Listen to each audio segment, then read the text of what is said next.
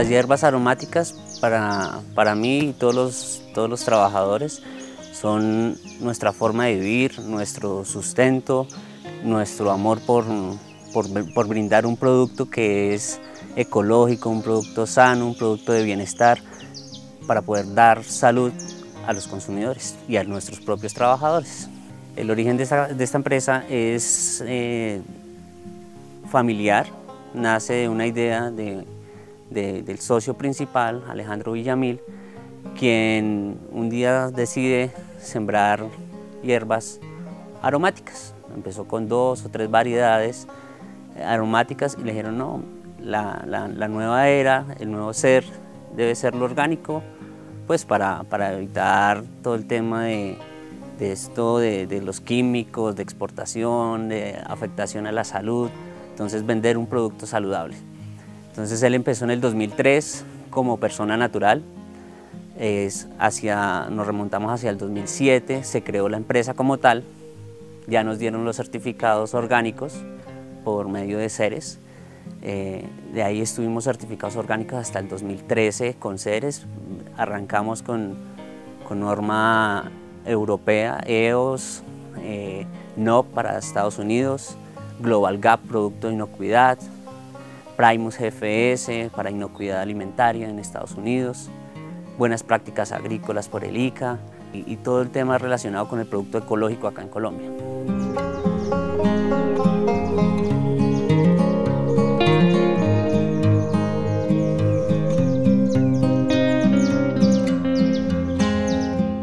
Bueno, estas certificaciones son basadas en varios módulos.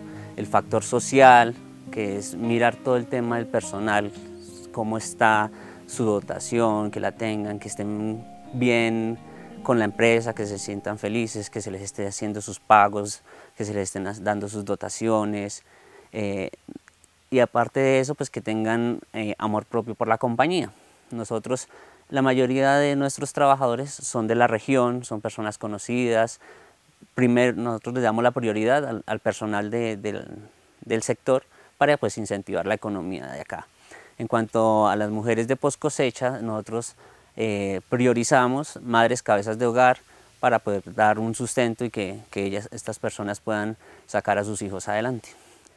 Eh, otro de los factores pues, es el factor orgánico. Ellos revisan que realmente seamos orgánicos, que nuestra producción sea limpia, que nosotros no tengamos ningún producto químico, ningún producto que vaya en contra del bienestar del consumidor. ¿sí? Nosotros por ende, nosotros hacemos nuestras propias aplicaciones de nuestros biopreparados, que son repelentes de las variedades que ya conocemos.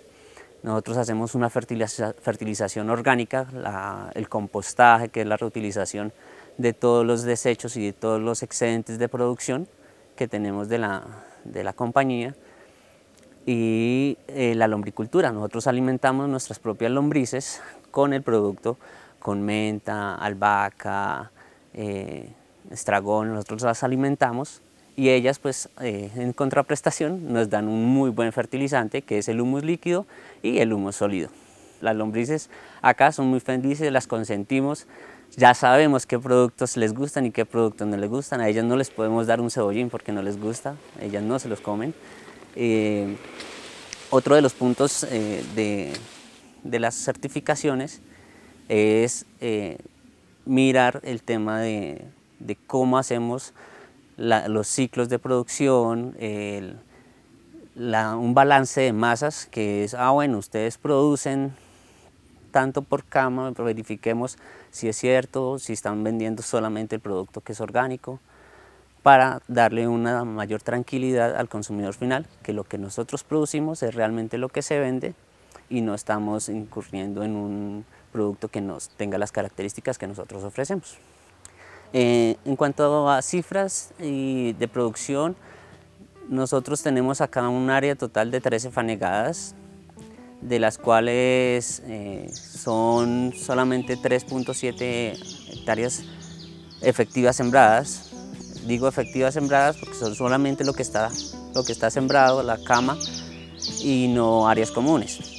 Eh, en estas 3.7 hectáreas sembradas tenemos una producción más de 150 toneladas al año, lo cual nos hace ser una de las empresas con mayor crecimiento en Colombia en cuanto a hierbas aromáticas, porque en, muchos factores o muchos sectores de la, de la, economía no se tenía tan presente la, la, venta de hierbas aromáticas, la teníamos más como la, la planta de jardín de las casas de cada uno de nosotros y no como un negocio que puede llegar a ser rentable.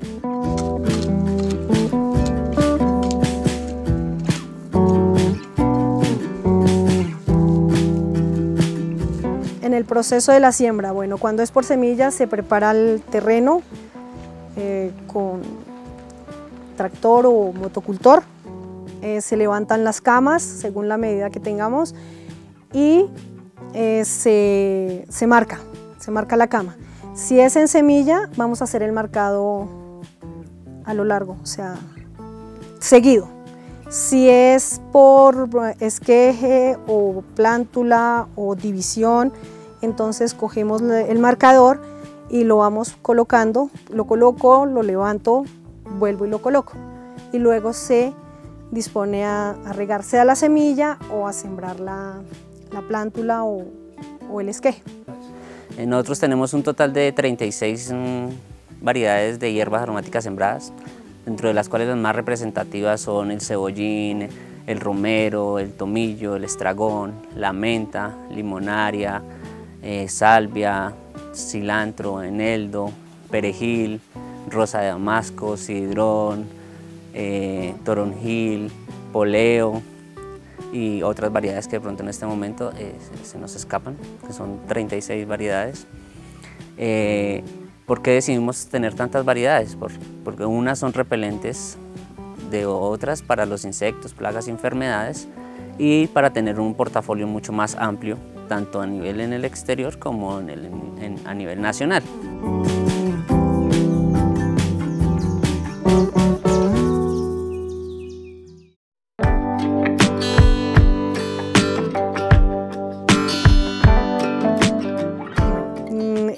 Iniciamos para saber qué con qué plagas o qué plagas tenemos en el cultivo, lo iniciamos con un monitoreo. Este monitoreo se hace semanalmente.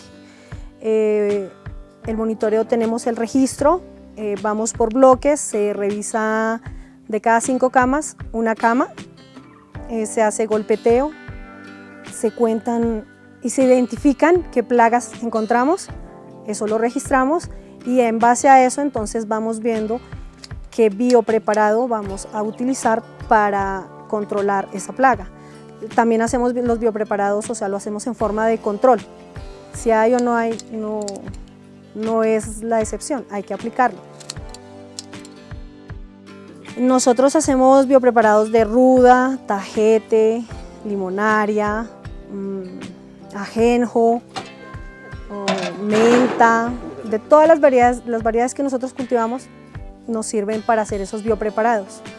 Esos biopreparados se hacen un día antes de la aplicación y ya cuando tenemos el producto, pues entonces nos disponemos a aplicar.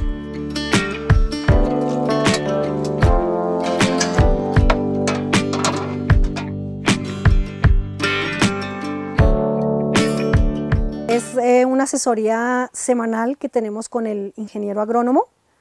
Eh, él viene todas las semanas, hacemos la revisión de plagas, hacemos el cuadro de aplicaciones que vamos a tener durante ese mes, que vamos a aplicar, eh, qué punto vamos a reforzar, donde tengamos alguna plaga ya avanzada.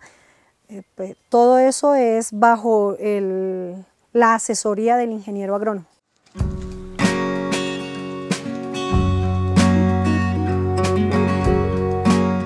Entonces tenemos el compostaje que este sale de todos los residuos que tenemos en post cosecha siempre va a haber desperdicios, residuos para ir al compostaje. También de procesados tenemos esos residuos. Entonces todo eso va a compostaje y también tenemos el tema de los lombricultivos, donde manejamos el humus líquido y el humus sólido.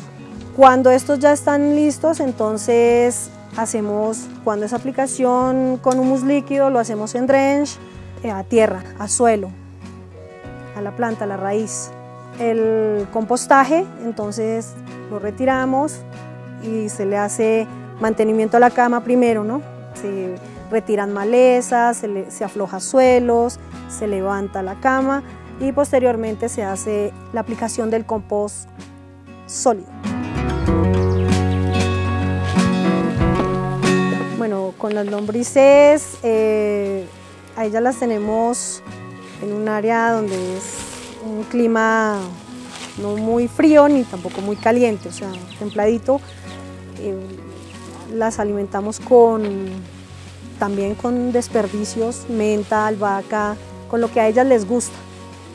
Se les hace humectación, se les toma la temperatura, eh, se revisan. Ya cuando vamos a hacer el retirado, entonces recogemos todo lo que está encima, lo metemos en costales y esperamos que ellas suban a ese costal cuando tengan hambre para luego nosotros retirar todo el sólido de, la batea o la caneca o el cuadrito donde las tengamos.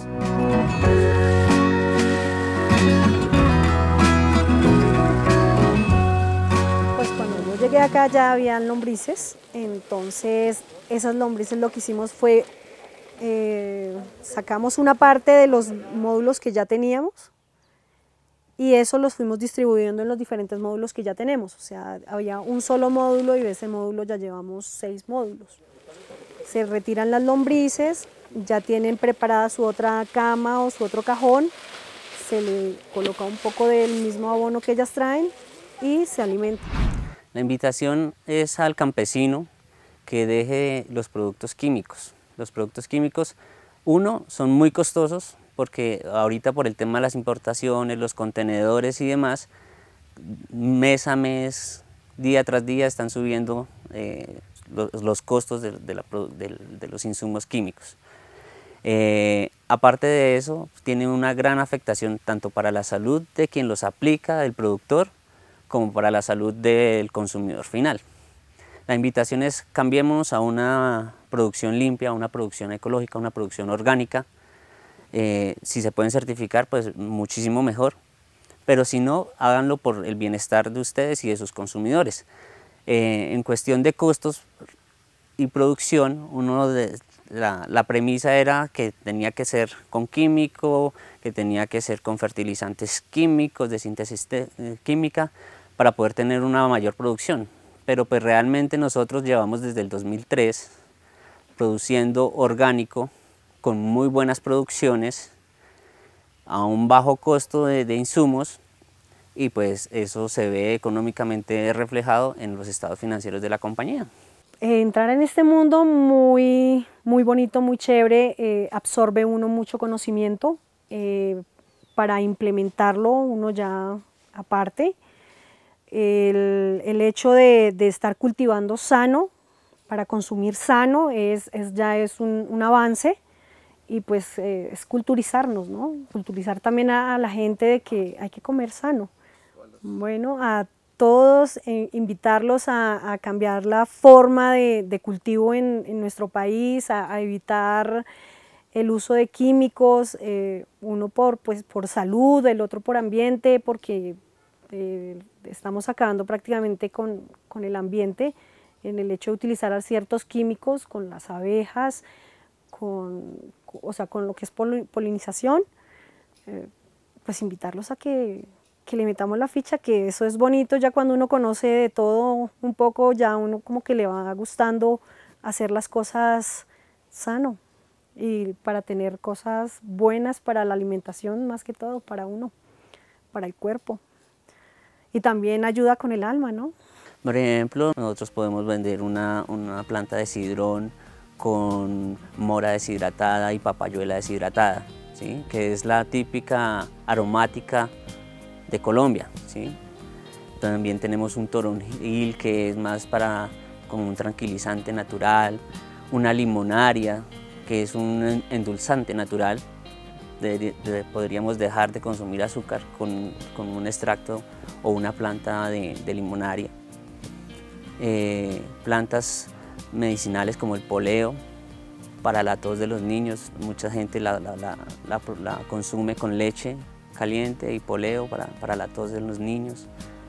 Cada una de sus plantas tiene una razón de ser. La caléndula para la hinchazón, la inflamación, todas las plantas tienen una razón de vivir acá en, en Suaga.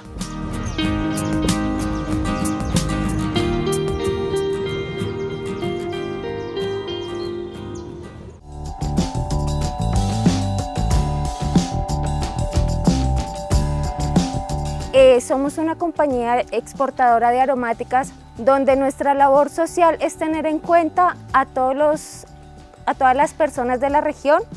Damos trabajo a mujeres cabezas de familia, eh, muchas veces sin experiencia y aquí se les da la oportunidad de un crecimiento tanto personal como laboral. Eh, eso en cuanto a las mujeres, en cuanto a los hombres, si sí tenemos en cuenta de pronto que tengan experiencia en el manejo de las herramientas para que sea un poco más fácil eh, su labor. Eh, también em, teniendo en cuenta los negocios verdes, eh, tratamos de que nuestros trabajadores o colaboradores tengan un ambiente laboral agradable porque lo que nosotros sentimos es lo que se ve reflejado en nuestras plantas. De eso dependerá que tengamos una buena cosecha, que crezcan y se puedan mantener durante pues, el tiempo. El olor que desprenden nuestras aromáticas hacen que nuestros trabajadores em, tengan un ambiente laboral un poco más agradable. Tenemos varias especies como la lavanda, que es tranquilizante.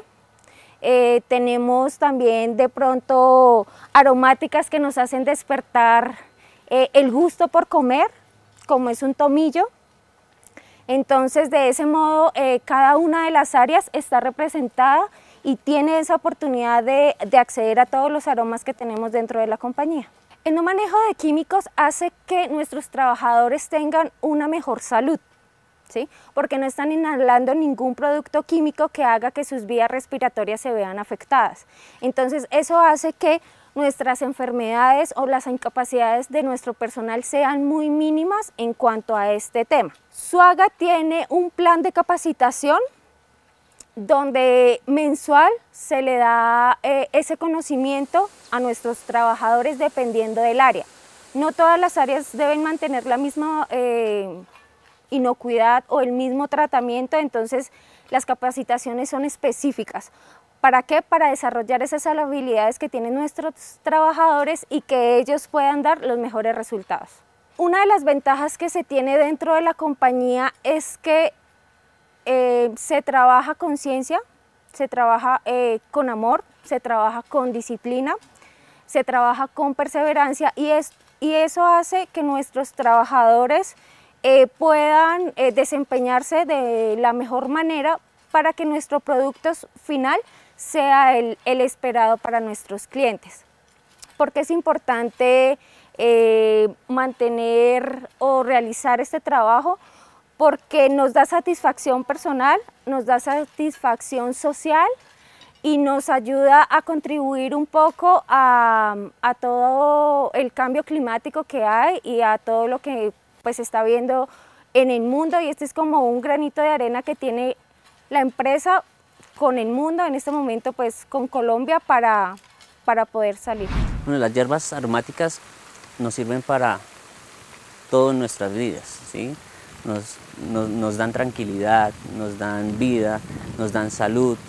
Eh, las tenemos en todas nuestras comidas, las tenemos en nuestra aromática por la mañana, las tenemos en nuestras cenas, almuerzos, como gourmet, como aderezos, ellas nos están acompañando siempre, ellas nos dan su energía para poder nosotros vivir y estar activos eh, durante todo, todo el día y todos nuestros días.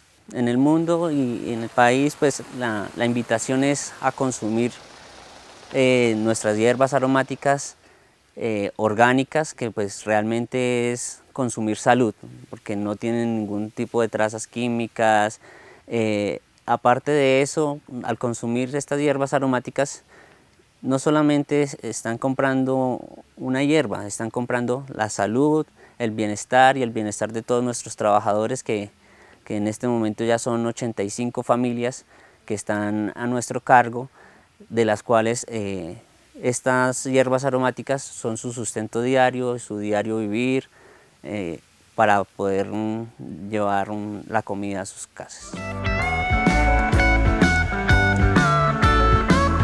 Para mí esto es mi vida. Realmente yo llegué acá a trabajar como contador público que soy y ahora soy el encargado de cultivar, de embarrarme de las manos, de, ayudar a sembrar, de ayudar a cultivar, de ayudar a seleccionar, enviar. Eh, es romper con todos los estereotipos, es romper con toda la metodología que uno tenía concentrada en su cabeza y empezar a ver que es más el, el deber ser de entregar un producto saludable a una persona que ver un número detrás de un computador.